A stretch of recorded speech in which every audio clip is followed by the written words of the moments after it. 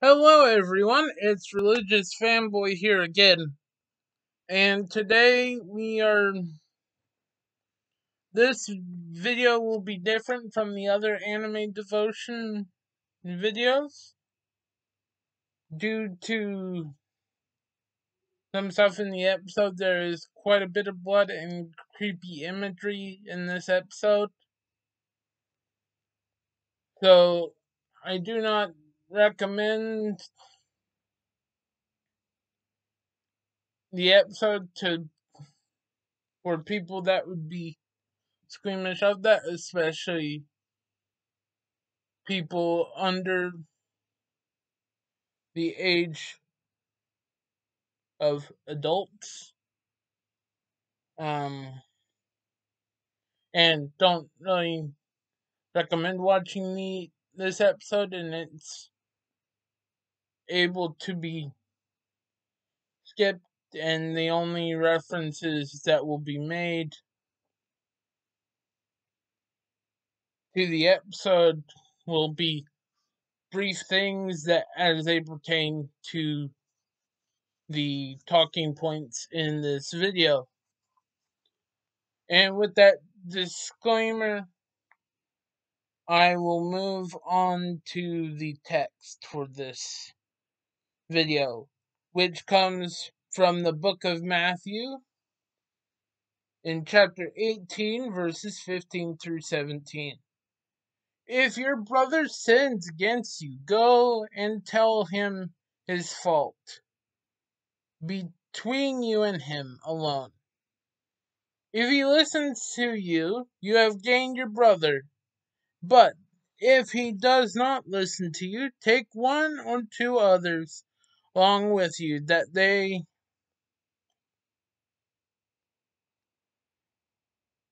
so that every charge may be established by the evidence of two or three witnesses. If he refuses to listen to them, tell it to the church, and if it ref- and if he refuses to listen even to the church, let him be to you as a Gentile and a tax collector. Um, just to give some scriptural information, like some background information on the passage. The book of Matthew is the first of the three synoptic gospels. And the three synoptic gospels are Matthew, Mark, Luke, and John. Nope, are Matthew, Mark, and Luke. And John is one of the gospels, but it is written in a different style, so it is not considered to be one of the three synoptic. It's not considered to be a synoptic gospel. And by understanding the original audience of the book of Matthew would help us to understand some of the cultural references in this text. This is most commonly referred to as the Jewish gospel. Matthew's gospel, its original audience, were to both Jews that uh, as a way of ministering to them and sharing the gospel with them, as well as the gospel written for Christians that had been Jews.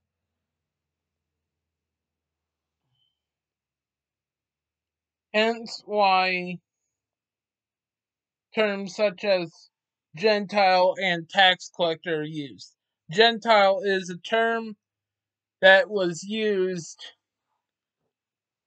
and it was used to basically define anyone who is not Jewish. And there was still very big separation, even among Christians, at the time of the early church and at the time of this being written. And like the cultural view held of Gentiles is why this is most why the term Gentile is most likely used here as a derogatory term. And we can assume this context also by the other type of person that is listed, which is a tax collector. Um, this is actually referenced in the series of The Chosen, especially in regards to Matthew, where a lot of the other Christian disciples that were that grew up Jewish and had been and still are Jews. They they've not necessarily split yet. Um,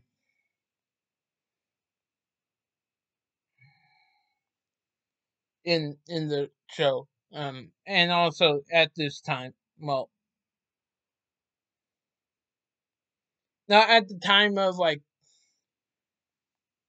what is being documented, but as of the time of this being written, they would have probably had been separate and like the the um term the way probably would have been established. I would assume.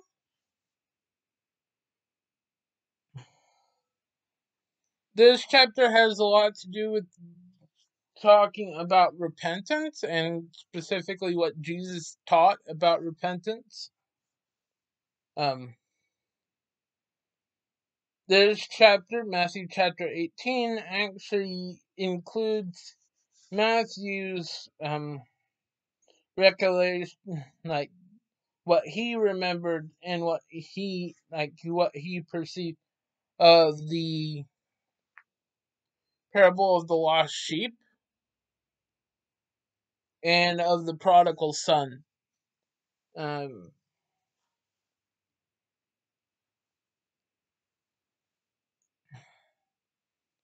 which now leads to my talking points.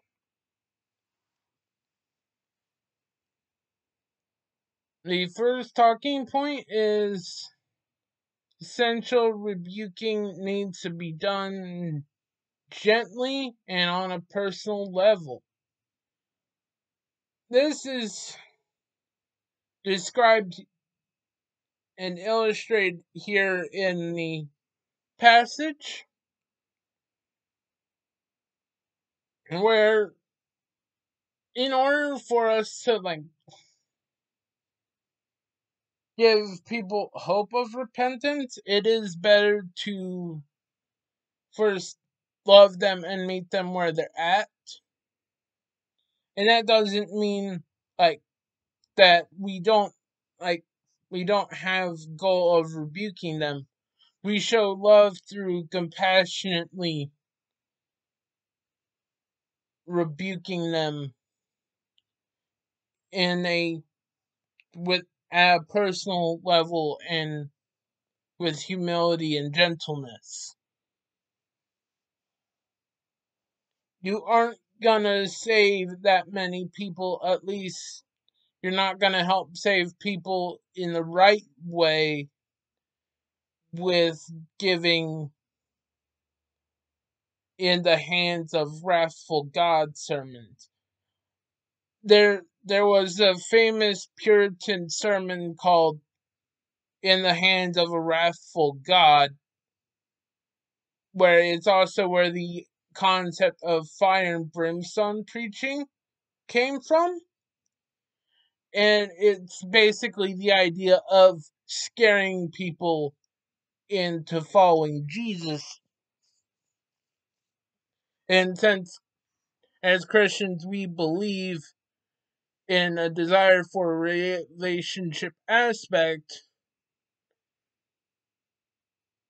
this the fire and brimstone approach is blatantly contradictory to what we're wanting to teach and what God wants and desires in our relationships with Him, and what He wants us to desire in our relationships with God.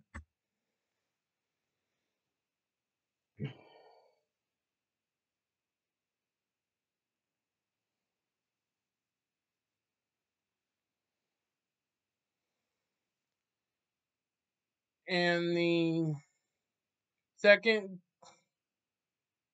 point is repentance, regardless of the sin, is a call for celebration.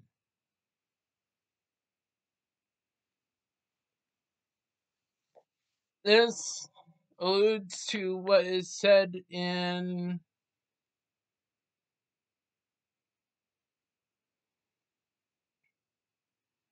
in verse like in the passage where it says for you have if he listens to you you have gained a brother we also see this idea of celebration especially in Luke's account of this where there is a verse that says there will be more rejoicing in this followed the parable of the lost sheep, where Jesus is thought to have said, Anyone for there will be more rejoicing in heaven for the one who repents than for the 99 who were righteous and never needed to repent.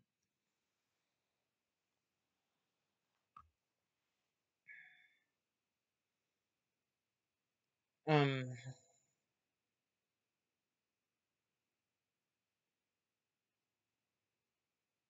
and we also see this in the prodigal son parable where despite the foolish mistakes and ill intent of just asking for his inheritance, basically saying that he would rather his father be dead so he could get the inheritance than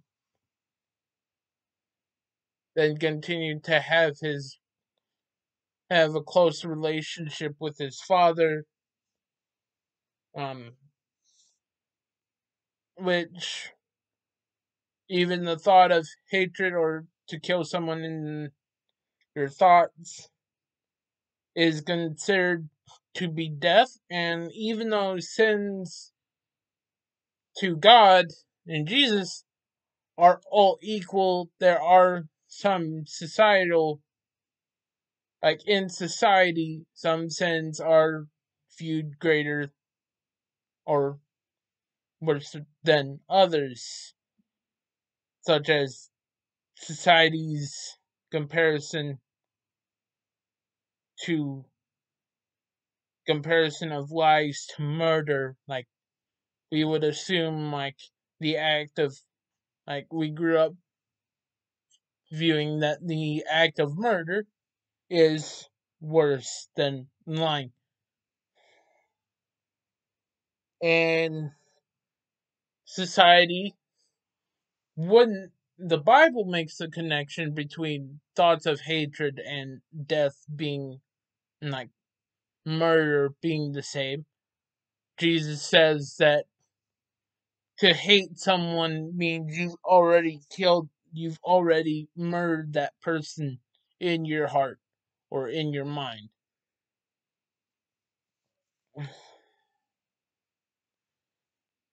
And but when we were when our when a brother or sister repent when when our brother or sister in Christ repent um we need to remember to show God's grace and unconditional love to them by forgiving them and not becoming self righteous in that moment, but celebrating and not because of the sin they had committed, but because of the fact that they had repented.